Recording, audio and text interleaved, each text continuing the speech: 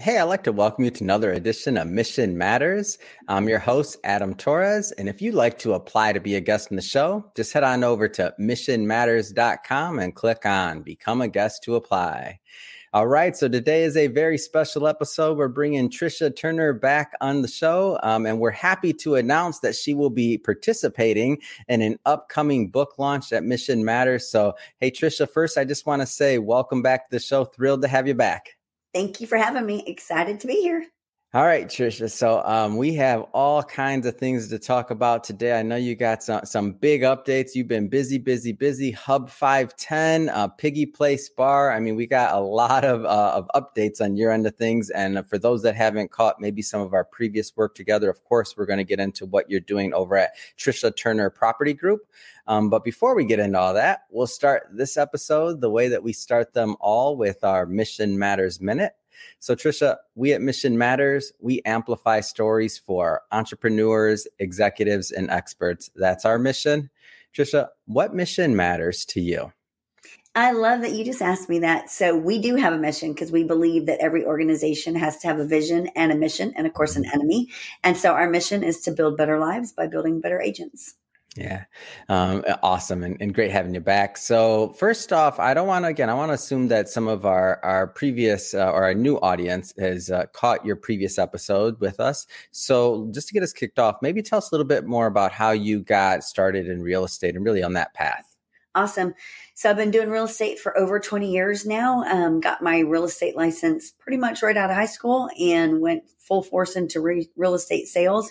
Was even a lender for about six years. Went through the mortgage industry crash, of course, in 08, 9, and 10. Wasn't loving that at all. So let my lender's license go and went back into real estate sales and have been just selling ever since.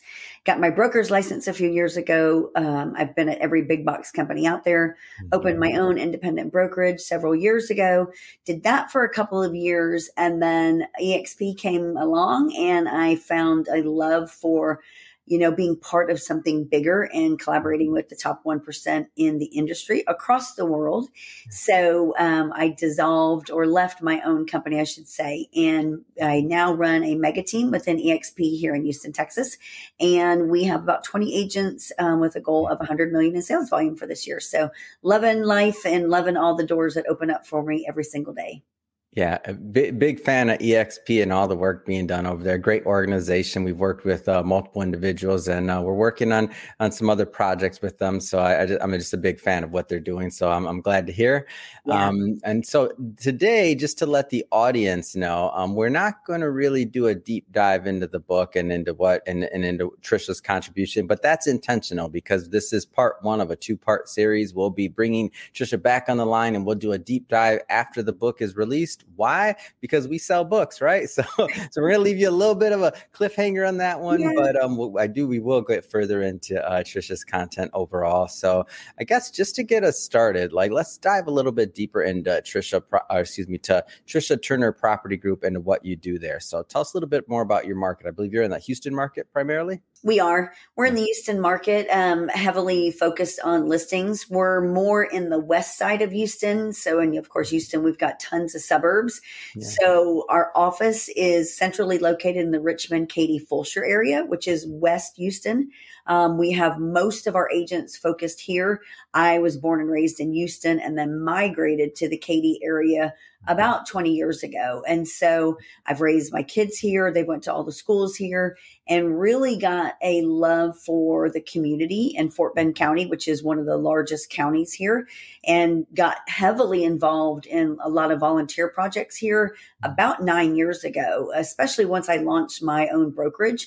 You know, as a mm-hmm. business owner, the more companies you can get involved with, the more people you can get in front of, the bigger you're going to grow your business. And so I was quick to do that when I got my broker's license and then really found such a need for it and really found that you know, I believe that we're better together in all things. And, and as the world continued to get weirder, especially after COVID and during yeah. COVID and all of that, it became really imperative if you're going to be a business owner and build a big empire that which is my vision, then you mm-hmm. have to pull people together. And so in the last couple of years, we have really gone not just uh, into being a real estate company because that is mm-hmm. our core foundation. We are a real estate company. That is what funds most of what we do. And that mm-hmm. will always be what we are. That is at our core. However, mm-hmm. since joining EXP, of course, and then going through COVID and learning how to bring people together in different ways, even when people were afraid to be together, um, found a real love for it. We're really good at it. And so the, this last year, 2022, we have branched off and, and, you know, it's crazy. If you would have asked me 12 months ago, would I be doing the things that I'm doing right now? I would have said no, because they weren't on my vision board, but apparently oh. God had a different plan for me. Oh, yeah and I and I and just uh, just for and we've known each other over a year already. So yes. you told me some of the updates um, uh, that you had going on and this and that, and I know at one of our previous calls you're like on site and you're doing some other things, and I'm like, wait, what are you doing?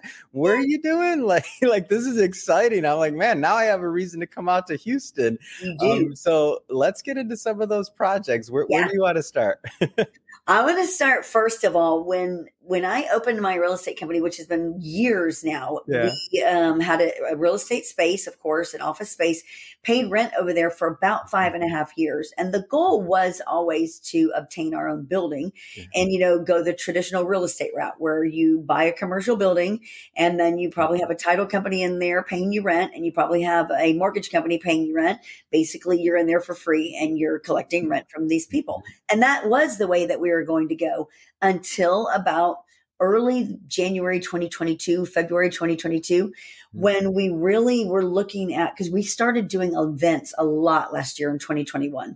just out there at least once a month bringing people together doing real estate panels trying to educate the consumer trying to make people not be afraid of being together like we're okay. And so and that costs a lot. Like when you're hmm. out renting venues number one you've got to find sponsors and and it's stressful hmm. and you sometimes can't get the location or the date or you can't make it happen or you get a low turnout and then it's mm-hmm. not no one's happy about it and so mm-hmm. it was stressful. And so about the very beginning of the year, my partner is like, why are we out looking for a commercial building just for the real estate office? Like, why are we out trying to find a property where we can bring it all together? Like yeah. a real estate company, we can have our own event center because this is what we love to do and we're good at it. Like, why yeah. are we not expanding? And so lo and behold, I did an event at one of these places that we rent mm-hmm. and we fell in love with this place. And it was two and a half acres on unrestricted land, which is very hard to find in Houston. Mm-hmm. And it had this small event center on it and it had a structure on it for a real estate company and it had another structure on it and room to grow. And it was like, oh my gosh. And so I told the owner, I said, I love your property. If you ever want to sell mm-hmm. or know of anybody around here that has a property like this, I am looking to buy. Yeah. Well, she didn't say anything. She was like, well, these properties usually don't go on the market and they don't. Two and a half months later, it was on the market, the very property that I was at. Oh, come on. Yeah, swear, swear. And you were right. God had other plans for you. we, of course, uh, made a, a full price offer immediately.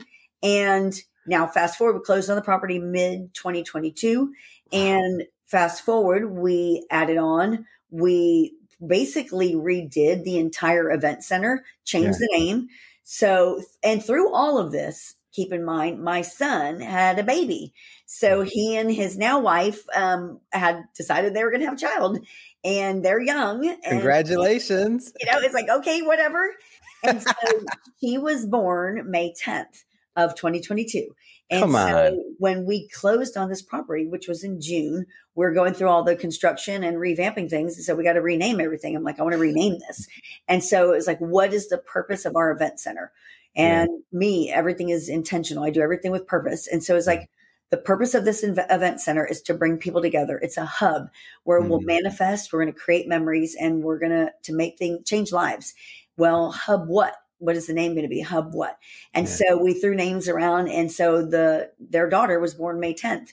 So we named it Hub 510 because wow. it was named after her. Well, then once she was born, she had a baby bottle in her mouth like constantly. And mm. so I nicknamed her Piggy because she was just a pig. and so we added on because when we bought this property, Hub 510, we were, of mm-hmm. course, going into construction mode there. And mm-hmm. the goal was to attract big weddings. Well, you can't have a big wedding without a bar. Yeah. And in real estate, we like to entertain as well. And we like to have happy hours. Mm-hmm. So we got to have a bar. There's always got to be a bar. And so we added on to the event center and added a bar yeah. and we named that Piggy's Place. So she, the little baby, is the originator of it all. Hub 510 is her birthday because it's 510. And then Piggy's wow. Place for her nickname. So when you go to our website, which is hub510.com, yeah. you can click on the little tab Piggy's Place and mm-hmm. her image pops up and her name's Victoria. So it says Victoria, AKA Piggy. And so oh. it has been, oh my gosh, uh, insane since June because we were in construction mode for mm-hmm. months and we literally didn't do our grand opening until I think it was uh, end of October or mm-hmm. middle of October. But it has been one of the biggest blessings ever. I, we are having a grand time. People come here and they're like, yeah it's so peaceful and it's so beautiful. Yeah. And everything inside the event center, you know, we bought everything brand new and mm-hmm. it came out absolutely beautiful. beautiful. Wow, what yeah. an amazing story. And uh and I have chills. You know what else 510 is? What? It's my birthday. Seriously? I'm not joking. When you said that, I almost fell out of my chair. that is insane.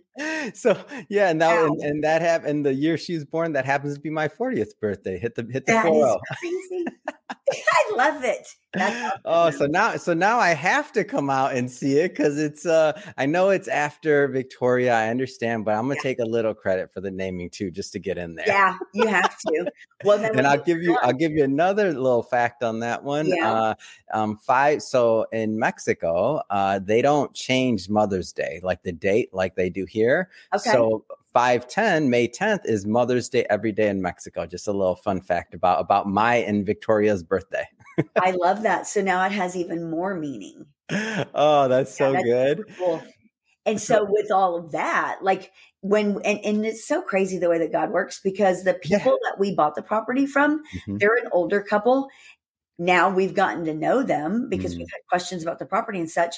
Well, they have a nonprofit organization. And the reason they wanted to sell the property was because they felt called to go yeah. deeper with their nonprofit and they needed time and money to go. They're out there um, helping people rebuild their homes that have lost it due to a tragedy and can't do it on their own.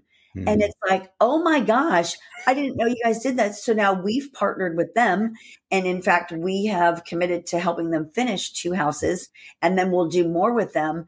But the craziest thing is, in through all of this, like our mm-hmm. relationship from we did not know them before, and it's mm-hmm. just blossomed into this amazing relationship where we are helping each other, yeah. all because of this event center that is now centered around this baby that was born. It's wow. just crazy. So if you would have asked me in 2021, number one, would they have been having a baby? My son, I would have been like, oh gosh, let's hope not. But it's amazing, right? And then if you would have asked me if we would have been having our own bar and event center, I would have said, no, are you kidding me? We're not yeah. about to open a whole nother business, but we did. Yeah. Wow, amazing. Like if you, you mm-hmm. know, sometimes you're called to step and you make that step and some amazing things can happen after. I know this part of it's get just getting started. And what's interesting to me about this too is if we, you know, all of us as entrepreneurs, so a lot of entrepreneurs and executives that'll watch this episode or listening in now, um, and you know this transition through our life as we hit different stages. And so looking at you know how you started in real estate right your idea was you know you'll get involved you're going to give back you had that servant's mindset that service uh, heart to get out there and and uh, and be involved in the community and give back and volunteer things like that. You're building your business you're doing other things you're finding ways to be of more value and now you've gotten to the point to where you know you, your business has grown and you're able to do more. So now you're able to take on new challenges in including now creating that space for other people to build community. And I'm sure there'll be some other individuals that pass through those doors and that connect that are just getting started in their careers or that are, you know, looking for that place to connect and way to belong. And considering what you're doing with your with your agents and with your team as well, I mean, it seems like things kind of come full circle, right? They do. Here's the craziest thing. You know, when I have my more craziest things. Hold on. I'm over here like Victoria me born on the same day. What else you got for me? It's, it's, insane. Honestly, it really is. Because, you know, Warren Buffett tells you that you should have five to seven streams of income to create wealth. Mm-hmm. Yeah. Most real estate people or people, real estate sales agents, we should say, mm-hmm. they really only focus on the transaction, just that mm-hmm. commission based income, and that's it. Well, when things shift and sales are down or in a declining market, things can get really scary for some people. But you know, who knew the market was going to shift like it has this year? We are not worried about it here whatsoever, nor would I ever be anyway. But mm. because of these also other businesses that we have, we have people here on the property uh, at all times. Like whether they're thinking about buying, selling, or investing in real estate, they may be out here looking to have a wedding or looking yeah. to hold a happy hour or a baby shower or a real estate panel. So we have things coming and going here on the property all the time. And it's really kind of insulated our business mm-hmm. and helped us grow organically, whereas others are really struggling right now. So I'm super blessed because who knew that this was coming? Yeah. Oh, I get it. Oh, what what an amazing story. So as we uh as we're heading, you know, we're for for context for everybody that's watching this. So we're recording this uh, or in the future. Um we're recording this in December of 2022. Um a lot of things changing in the real estate market, business world, just in general. Um I have to ask so Tricia, so what what are what's kind of on the horizon as we go and we're looking into 2023 whether it's uh whether it's in the Houston market or otherwise? So here, of course, being real estate is our foundation, and that is what holds us accountable and builds us. And we're always looking at growing yeah. our team. So mm-hmm. our goal, couple of goals this year, is of course to get our agents to our agent count to about fifty. We're about yeah. twenty right now, so fifty would be good for us. But mm-hmm. again, what we're doing is we're bringing in all of these other income streams for our agents because you know if they can get an event going or host an event or bring a wedding in, of course, naturally there's revenue generated for them as well. Yeah but we actually are going to launch a whole nother business um, in January that I haven't told you about yet um, we were granted approval to have a grid chapter, our very own grid chapter. And so, if you're not aware of what grid is, it's an investor group and it's nationwide, and you have to be accepted into the program and then granted your own chapter. So, mm-hmm. here in Houston, we have been granted our own chapter, and it's called the Grid Growth Group. And our launch date is actually February 1, I should say. And mm-hmm. so every month, once a month, we'll be bringing our own group here to our property. And it's to teach people how to become investors in real estate, how do you do flipping? How do you do wholesaling? How do you become a hard money lender? Because if you're in real estate and your your life is just indicative on real estate sales, mm-hmm. I don't know about you, but that's not a, a clear path. It's not sustainable. And so we really want to educate consumers and real estate agents on how to build wealth for your family and for your generation. Period. Mm-hmm. Mm-hmm. Yeah, and I think that this is so uh, interesting to me and so telling about where your heart's at. And I'm not not to not to talk bad about anybody else, brokers or otherwise, or just anybody in real estate, really. But let's just say that many um, brokers models, just like a, the real estate agent, is typically focused on many of the real estate agents, not everybody, on that one source of income, which is the commission. A lot of times, the brokers may feel maybe some some models are focused the same way, right? What the commissions are that their broker are earning. But you, by adding these other opportunities for your brokers as well, um, to to get involved and to do different things, and even like that, like what you mentioned, like weddings and other things like that, and building community. Like what you're really doing is you've built a platform and you've built something that those that are within your sphere, whether they're brokers or otherwise in your community, have the opportunity to participate in and to take part of, whether it's monetary because they work for you, right? Or whether it's just, you know, community building because they need a space. So your entire ecosystem that you are building in, in Houston, to me, it's inspiring. And when you say that you, you you're starting this new chapter, I'm like, duh, that makes sense. That matches what you do. it does. You know what? I'm going to tell you one of the coolest things about it hmm. because mm. it is our own event event center, we yeah. can, you know, people get fixated, like, especially like you just said, a lot of brokers get fixated just on, you know, agents and their transactions. Yeah. And, and in my opinion, I think it's a disservice to the agents because For it sure. limits their growth and what they can do. Mm-hmm. But with us and what we have built here and we continue to add on, it really it helps you be a better human. I mm-hmm. had people that came here two days ago to look at our event center for a wedding. They don't mm-hmm. have a lot of money, and we're able to customize things for them based on what their needs are. Because at the end of the day, and like I mm-hmm. told them, this place, number one, I in my wildest dreams, I never thought we would have it. And then when God said, This is what you're gonna do, this is what yeah. we're doing. And so they're getting married. They want to spend their life together. I want to make that special for them. And I told them, I want you to send me an email with everything that you would like in your wedding and what you can afford. And I'm going to make that happen. Wow. And that's the coolest thing because we can do that. Mm-hmm. Nobody else does stuff like that because it shouldn't be about the money. It should be about the experience. Yeah, amazing. Yeah, th- this is great. And I can't wait to hear more about what you're doing um, as well as time pass. I'm just excited. I'm bought in. I mean, 510, come on. This is this is exciting. I'm bought in. Victoria doesn't even know she has. Well, I know she has many fans, but she's got a fan over in LA too already. She I love know. that. Hey, I love that you told me that it's Mother's Day, like always in Mexico, because five ten now means even more to me. Yeah, exactly. Cool my, yeah, yes. my mom. Every year, I uh, uh, when we have that discussion, I'm like, "What do you want for Mother's Day?" And I'm like, "I'm like, Mom, I gave you meat." No, I'm just playing. I don't tell her that. That's crazy. you know, one thing I do want to say though, too, mm. though, is I know the real estate market is hot on everybody's yeah. um, mind right now, mm-hmm. and it should be because interest rates in 2022 doubled, and we've never ever seen that happen in one 12 month period. Mm-hmm. And so I know there's a lot of people out there that are, are freaking out, and they're like, "Are the interest rates ever coming back down?" We do believe that yes, they are. We mm-hmm. do believe that it's going to happen in 2023, and we do believe that what is happening right now, this little bit of a lull that we're in, you know what? Take, you know, do what you need to do every day to further your business and to hit your goals and to make sure you're working, you know, grind. You're going to have to work double and triple right now to, to make those transactions, but also take time with your family and enjoy the, the Christmas time and enjoy the, the holidays because 2023 is going to be awesome. We're going to ramp right back up. We're going to have a lot of home sales. And don't be surprised if we don't end up in another situation where we're out of inventory again. That's mm. what hmm. my predictions are. Yeah.